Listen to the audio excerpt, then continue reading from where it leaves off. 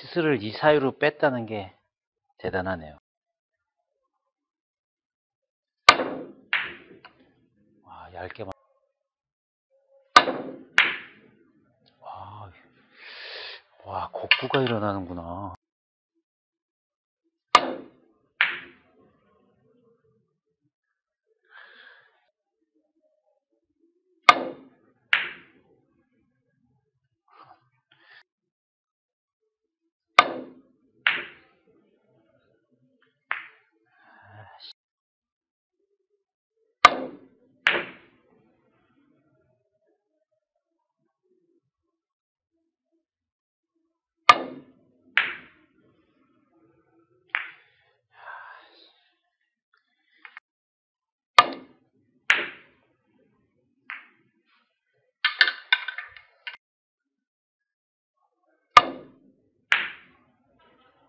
아, 조금 셌어야 되네. 아씨.